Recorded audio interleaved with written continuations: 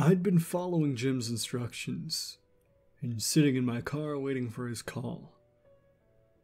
After a few hours and several attempts to call him to no avail, I really had to pee. I got Johnny out of the car and we walked to the gas station on the main road. I picked up a sandwich and some chicken for Johnny and we made our way back. The hazmat people seemed completely uninterested in what I was doing. We're still scurrying around like ants around the tent.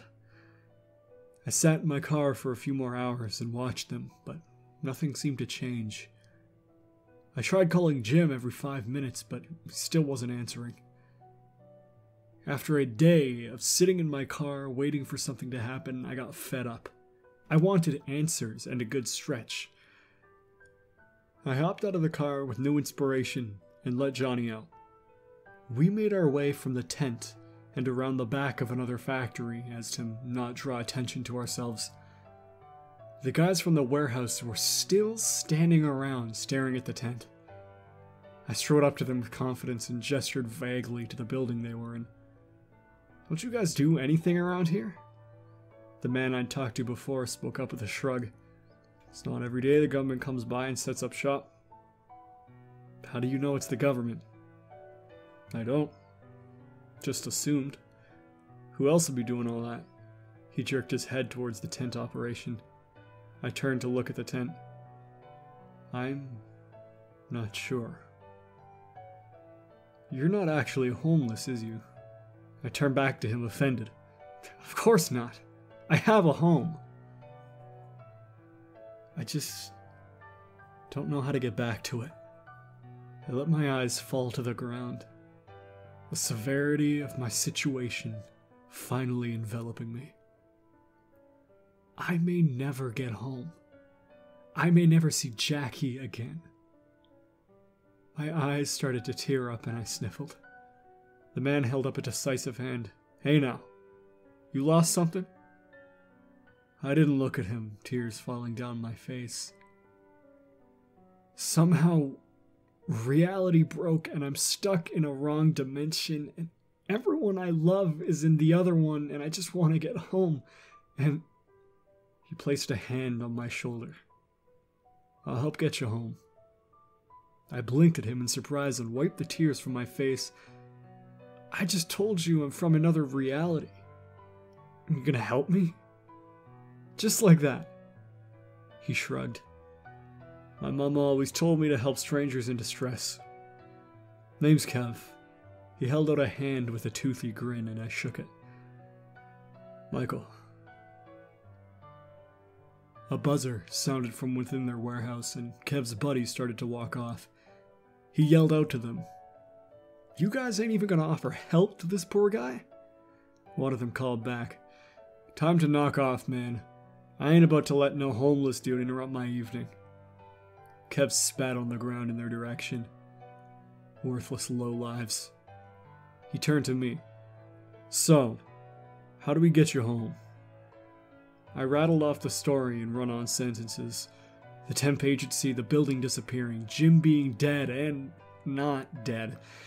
The reality shift, the tent, and what seemed like five minutes of talking without stopping to take a breath and Kev never once interrupting. I finished the story and just stared at him. He just nodded his head. Alright then, let's do this. Again, I just blinked at him. You. You don't have any questions. You just believe me. He shrugged again. I got plenty of questions, and whether or not I believe you ain't important. What's important is that you need help, and I'm to try my best to get you home. I was impressed. Kev seemed like a really stand up guy. While I was staring at him in wonder, he had knelt down and was giving Johnny a belly rubs and talking to him in a baby voice. well, ain't you the cutest darn thing I've ever seen? Johnny's tail was wagging hard. I unsuccessfully stifled a chuckle. Kev glared at me and stood up with crossed arms. Shut up. My old lady wouldn't let me get a dog, and he's damn adorable. His features softened. So this Jim guy was supposed to call you, but didn't. and I'm assuming you need to get inside that tent. I nodded. I think so. Jim needed me to check the forest for anything weird, which is the only reason I came back here.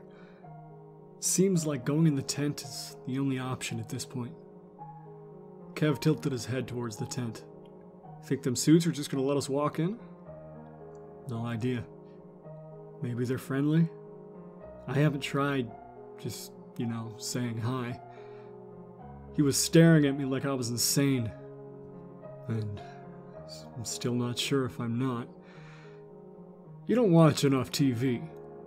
You don't just walk up to hazmat suit dudes and say hi. We need to sneak in, steal two of them suits, and wait until dark to make our move. It was my turn to think he was insane. We can't just break in. What if we get caught? We don't get caught.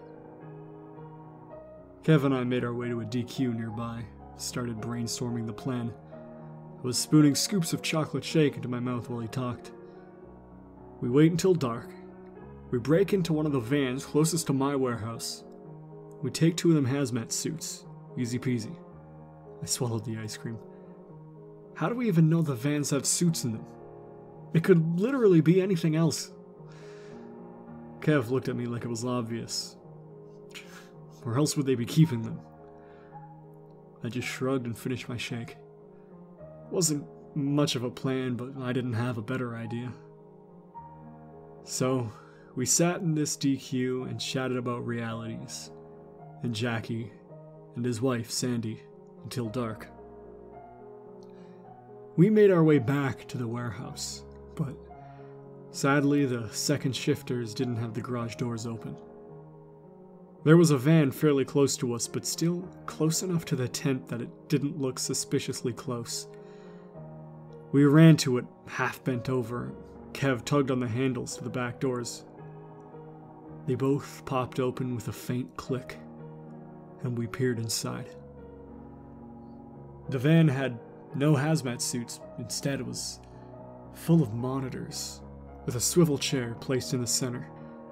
I stepped into the van cautiously to look under the chair. The monitors showed black and white images of what I assumed to be the inside of the tent there were trees, and the hazmat guys running about. The monitor in the center was pointed at a much smaller tent with a huge. Within. The monitor in the center was pointed at a much smaller tent within the huge one. It looked big enough to house three or four standing hazmat men, but it seemed more men were going into that tent than going out of it. I turned to Kev. You see that? How are so many of these dudes fitting in that tent? He was standing in the van, bent over so he could fit. I bet there's some kind of portal in there. A portal. Maybe back to your reality. It could be your way home. I stared at the monitor intently. we have to try.